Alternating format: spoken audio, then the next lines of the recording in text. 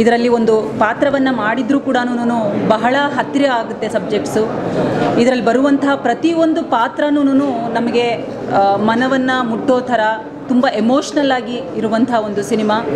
ಮನೆಯಲ್ಲಿ ಎಲ್ಲ ಸಂಬಂಧಗಳು, ಅಕ್ಕ ತಂಗಿಯರು, ಅಣ್ಣ ತಮ್ಮಂದಿರು, ತಂದೆ ಮಕ್ಕಳು, ತಾಯಿ ಮಕ್ಕಳು, ಹೀಗೆ ಎಲ್ಲ ಥರದ ಸಂಬಂಧಗಳಿಗೂ ಇದೊಂದು ಬೆಸುಗೆ ಆಗುವಂಥ ಸಿನಿಮಾ. ಬಹಳ ವರ್ಷಗಳಾಗಿತ್ತು ಈ ಥರದೊಂದು ಸಿನಿಮಾನ ಕೂತು ನೋಡಿ, ಅತ್ತು ಅನುಭವಿಸುವಂಥ ಒಂದು ಸಿನಿಮಾ ನಮ್ಮಲ್ಲಿ ಬಹಳ ಬಹಳ ವರ್ಷಗಳಾಗಿತ್ತು ನೋಡಿ. ಸೊ ಹಾಗಾಗಿ ನಾನು ಒಬ್ಬ ಸಾಮಾನ್ಯ ಪ್ರೇಕ್ಷಕರ ಥರ ಈ ಸಿನಿಮಾನ ಕೂತು ಇವತ್ತು ನೋಡಿದ್ದೀನಿ. ಇವತ್ತೇ ನಾನು ನೋಡಿರೋದು. ಬಹಳ ಸಂತೋಷ ಆಯಿತು. ಇಷ್ಟು ಒಳ್ಳೆ ಪ್ರಾಜೆಕ್ಟಲ್ಲಿ ನಾನು ಕೂಡ ಒಂದು ಸಣ್ಣ ಪಾತ್ರವನ್ನು ಮಾಡಿದ್ದೀನಿ ಅಂತ ಬಹಳ ಹೆಮ್ಮೆ ಆಗ್ತಿದೆ. ಬಹಳಷ್ಟು ಸರಿ ಹೇಳಿದ್ದೀನಿ. ನನ್ನನ್ನು ರಂಗಭೂಮಿನಲ್ಲಿ ನಾನು ಸಾಕಷ್ಟು ನಾಟಕಗಳಲ್ಲಿ ಮಾಡ್ತಿದ್ದೆ ಮುಂಚೆಯಿಂದ.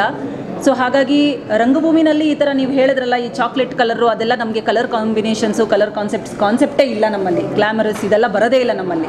ಸೊ ನಮ್ಮಲ್ಲಿ ಯಥಾವತ್ತಾಗಿ ನಾವು ಹೇಗಿರ್ತೀವೋ ಹಾಗೆ ಸ್ಟೇಜ್ ಮೇಲೆ ಬರ್ತೀವಿ. ಒಂದಷ್ಟು ಮೇಕಪ್ ಹಾಕ್ಕೊಂಡು ಕಾಸ್ಟ್ಯೂಮ್ಸ್ ಹಾಕ್ಕೊಂಡು ಎಲ್ಲ. ಸೊ ಇವರು ನನ್ನನ್ನು ಅದೇ ರಂಗಭೂಮಿಯಲ್ಲಿ ನೋಡಿ ಡೈರೆಕ್ಟರ್ ಸರ್ ಅವರು, ಸಜ್ಜನ್ ಸರ್ ಅವರು ಹೇಳಿದ್ರು, ಮೈಸೂರಿಂದ ಫಾಲೋ ಮಾಡ್ಕೊಂಡು ಬಂದರು ಅಂತ. ಸೊ ನನ್ನನ್ನು ಕೇಳಿದ ತಕ್ಷಣ, ಮ್ಯಾಮ್, ನೀವು ಹೇಗಿದ್ದೀರೋ ಹಾಗೆ ಬನ್ನಿ ಸಾಕು ಅಂತ ಅಂದರು ಸೆಟ್ಗೆ ಸೊ ಹಾಗಾಗಿ ನೀವು ನೋಡಿರ್ಬೋದು ಸಿನಿಮಾನ, ನಾನು ಹೇಗಿದ್ದೀನೋ ಹಾಗೇ ಇದ್ದೀನಿ. ಏನು ಮೇಕಪ್ ಏನೂ ಇಲ್ಲ.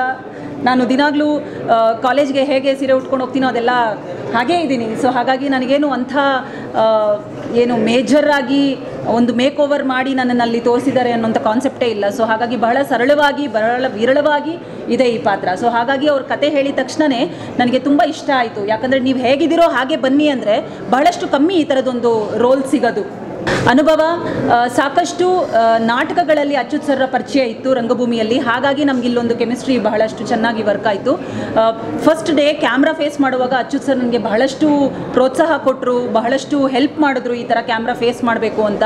ಸೊ ಹಾಗಾಗಿ ಇದು ನನ್ನ ಫಸ್ಟ್ ಫಿಲಮ್ ಬಹಳ ಸಹಾಯ ಮಾಡಿದ್ದಾರೆ. ದತ್ತಣ್ಣ ಸರ್ ಆಗಿರ್ಬೋದು, ಅಚ್ಯುತ್ ಸರ್ ಆಗಿರ್ಬೋದು, ಸಜ್ಜನ್ ಸರ್ ವಿಶ್ವನಾಥ್ ಸರ್ ಇವರೆಲ್ಲರೂ ಅಷ್ಟೇ ನನಗೆ ಬಹಳ ಧೈರ್ಯ ತುಂಬಿ ಕರ್ಕೊಂಡು ಹೋದರು. ಯಾಕಂದರೆ ಭಯ ಇತ್ತು ಅಂತ ಅಲ್ಲ ನಾಟಕಗಳು ಮಾಡಿ ಅನುಭವ ಇತ್ತು ಬಟ್ ಕ್ಯಾಮ್ರಾ ಫೇಸ್ ಮಾಡಿ ಅನುಭವ ಇರಲಿಲ್ಲ.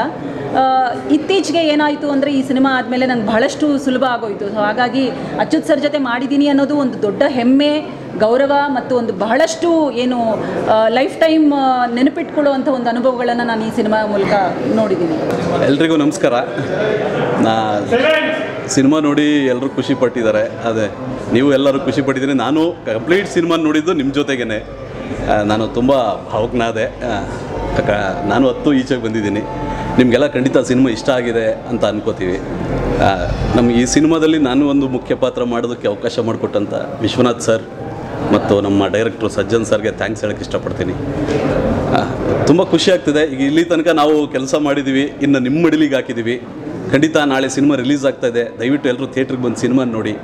ನಮ್ಮ ತಂಡವನ್ನು ಆಶೀರ್ವದಿಸಿ ಅಂತ ಕೇಳ್ಕೊತೀನಿ. ನಮ್ಮ ಅಪ್ಪದೆಲ್ಲ ಬೈದು ಹೊಡೆದಿನೇ ಇರೋದು. ಹೊಡೆದು ಹೊಡೆದು ಬಡ್ದೇ ನಮ್ಮ ಅಪ್ಪ ಮಾಡ್ತಿದ್ದಿದ್ದು. ಹಂಗಾಗಿ ಎಲ್ಲ ಅಪ್ಪ ಅಂದರೂ ಹಿಂಗೆ ಇರ್ತಾರೆ. ಅಂದರೆ ಮಕ್ಕಳು ಏನೋ ಒಳ್ಳೆ ದಾರಿಲಿ ಹೋಗ್ಬೇಕು ಅಂತ ಅವರು, ಅವ್ರು ಕೆಟ್ಟದಾಗ ಕಾಣಿಸ್ತಾರೆ ಅಷ್ಟೇ. ಅವ್ರು ಒಳ್ಳೇದು ಹೇಳೋದು ಒಳ್ಳೇದಕ್ಕೆ ಆಗಿರುತ್ತೆ. ನಮ್ಮ ಲೈಫ್ಗೆ ಮಕ್ಕಳು ಭವಿಷ್ಯ ಚೆನ್ನಾಗಾಗಬೇಕು ಅಂತಲೇ ಅವರು ಹೇಳ್ತಾ ಇರ್ತಾರೆ. ಅದನ್ನು ಅರ್ಥ ಮಾಡಿಕೊಂಡ್ರೆ ಬದುಕು ಹಸನಾಗುತ್ತೆ. ಇಲ್ಲ ಅಂದರೆ ಈ ಸೂರ್ಯನ ಥರ ಅಥವಾ ಇನ್ನೂ ಇನ್ನೊಬ್ಬರು ಮಗ, ಮಗನ ಥರ ಆಗುತ್ತೆ ಪಾತ್ರ. ಕೆಲವೊಂದಷ್ಟು ಮನೆಗಳಲ್ಲಿ ಅರ್ಥ ಮಾಡ್ಕೊಳ್ಳೋ ಮಕ್ಕಳು ಅಂತ ಮಕ್ಕಳಿಗೆ ಏನು ಹೇಳೋಕೆ ಅಪ್ಪ ಅದೇ ಈ ಸಿನಿಮಾ ನೋಡಿ ಅಂತ ಹೇಳ್ತೀನಿ. ಈ ಸಿನಿಮಾ ನೋಡಿದ್ರೆ ಅಪ್ಪ ಅಪ್ಪನ ಬಗ್ಗೆ ಅಥವಾ ಅಪ್ಪ ಅಮ್ಮನ ಬಗ್ಗೆ ಹೆತ್ತವ್ರ ಬಗ್ಗೆ ಸಂಬಂಧಗಳ ಬಗ್ಗೆ ತುಂಬ ಪ್ರೀತಿ ಬರುತ್ತೆ ಅಂತ ಹೇಳ್ತೀನಿ. ನಮ್ಮ ಫೋರ್ ವಾಲ್ ಸಿನಿಮಾ ನೋಡಿ ಖಂಡಿತ ಅದ್ರ ಬಗ್ಗೆ ತುಂಬ ಇಷ್ಟ ಆಗುತ್ತೆ ನಿಮಗೆ. ಅದ್ರ ವ್ಯಾಲ್ಯೂ ಅರ್ಥ ಆಗುತ್ತೆ. ತುಂಬ ಖುಷಿ ಕೊಡುತ್ತೆ ತುಂಬ ಖುಷಿ ಆಯಿತು ನನಗೆ. ಅಂದರೆ ಫಸ್ಟು ನಮ್ಮ ತಂದೆ ಹಿಂಗಿರಲಿಲ್ಲ. ನಮ್ಮ ತಂದೆ ಅವರೆಲ್ಲ ಕುಡಿದು ಬಡ್ದು ಇಂಥದ್ದು ಹಿಂಗೆ ಬದುಕ್ತಾ ಇದ್ರು. ಆದರೆ ಶಂಕರಣ್ಣನ ಥರ ಒಬ್ಬ ತಂದೆ ನನಗಿರ್ಲಿಲ್ವಲ್ಲ ಅಂತ ಬೇಜಾರಾಗುತ್ತೆ. ನೀನಾಸಂ ಬಗ್ಗೆ ಎಷ್ಟು ಹೇಳಿದ್ರೂ ಸಾಲಲ್ಲ. ಯಾಕೆಂದ್ರೆ ನಾನು ಇವತ್ತು ಇಲ್ಲಿ ಕೂತಿದ್ದೀನಿ ಅಂದರೆ ಅದಕ್ಕೆ ನೀನಾಸಂ ಅನ್ನೋ ಒಂದು ಹೆಸರೇ ಕಾರಣ. ಅದಕ್ಕೆ ಮೊದಲು ಕೂಡ ನಾನು ಅವಕಾಶಗಳಿಗೆ ಪ್ರಯತ್ನ ಪಟ್ಟಿದ್ದೆ. ಥಿಯೇಟ್ರು ಮಾಡಿದ್ದೀವಿ ಅನ್ನೋದಕ್ಕಿಂತ ಹೆಚ್ಚಾಗಿ ಆ ನೀನಾಸಂ ಅನ್ನೋ ಹೆಸರಿಗೆ ತುಂಬ ಮರ್ಯಾದೆ ಇದೆ, ವ್ಯಾಲ್ಯೂ ಇದೆ.